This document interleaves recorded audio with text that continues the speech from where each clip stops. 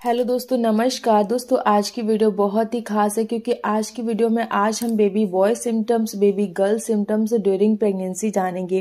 काफ़ी सारी महिलाओं की ये क्वारीज होती है जो प्रेग्नेंट होती हैं। उन्हें बहुत ज़्यादा उत्सुकता होती है, इसलिए उन्हें बहुत ज़्यादा ये क्वारीज होती हैं बच्चे को लेकर। होने वाला बच्चा बेबी गर्ल है या फिर बेबी बॉय है, ये कैसे पता चलेगा? हमारी बॉडी कौन कौन से वो संकेत देती है जिससे हम थोड़ी अपना उत्सुकता को कम कर सकें।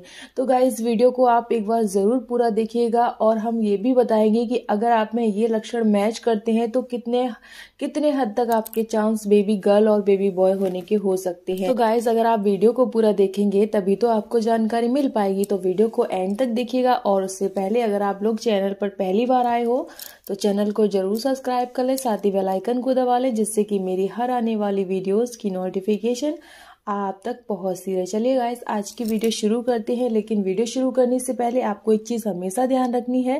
देखिए, आप इस वीडियो को सिर्फ़ अपने अनुमान के तौर पर देखिएगा, लेकिन इस वीडियो को देखने के बाद कोई भी गलत कदम ना उठाएँ और इस वीडियो को आप सीरियसली बिल्कुल भी ना लें, ठीक है? तो सिर्फ़ अनुमान लगा सकती हैं और कोई भी गलत कदम आपको नहीं उठाना है। ठीक है? क्योंकि मैं इसमें सच्चाई भी बताऊँगी कि कितने हद तक ये काम करेंगे तो आपको वीडियो को पूरा देखना है।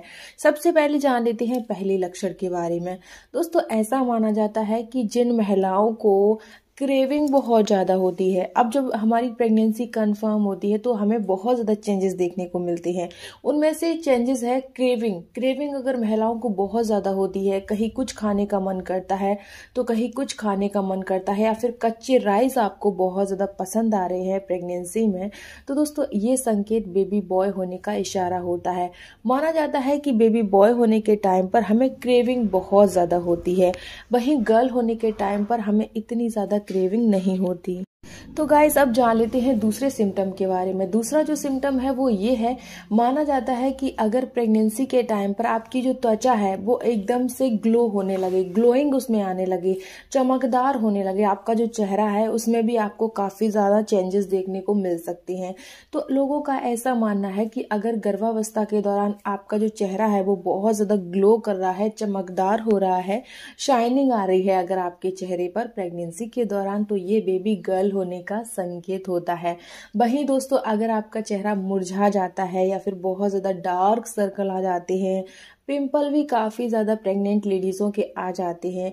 जिन महिलाओं की स्किन त्वचा काली होती है, चेहरे की और बहुत ज़्यादा पिंपल आते हैं, दाग धब्बे चेहरे पे आते हैं तो गाइस ऐसा माना जाता है कि ये बेबी बॉय होने का इशारा होता है। वहीं अगर आपकी ग्लोइंग कर रही है, त्वचा बहुत ज़्यादा ग्लो कर रही है, आपकी जो त्वचा है, जो स्किन है तो ये बेबी गर्ल होने का संकेत है। तो गाइस अब जान लेते हैं नेक्स्ट सिम्टम के बारे में।